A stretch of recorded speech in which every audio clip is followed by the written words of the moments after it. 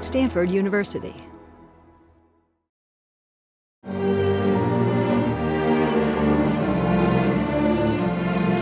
The collaboration with Danny Elfman is a really unique opportunity to tackle a difficult, exciting piece of modern music.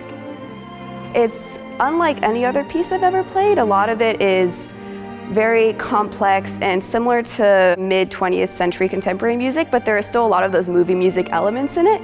Didn't want it to feel like, oh, when a film composer does something serious.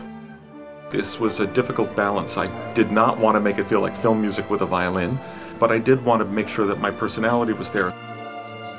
I love bringing live composers to work with the students, and this is a very special opportunity because not only are we working with Danny Elfman, but we're presenting the first performance of his new violin concerto in the United States.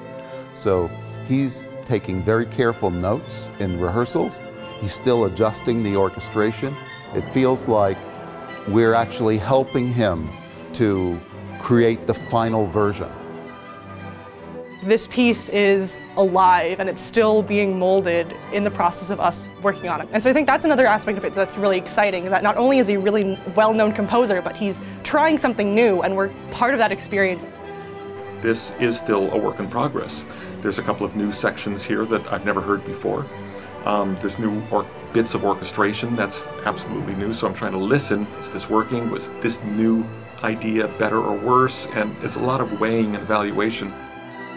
One really special part of being able to work with a living composer, particularly someone like Danny Elfman, is that he's able to come to the rehearsal and you know, tell us exactly what he intended at every portion of this piece.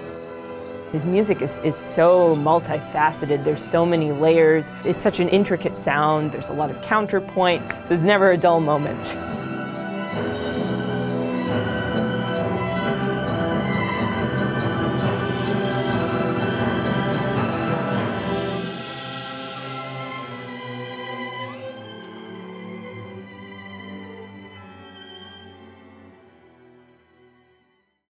For more, please visit us at stanford.edu.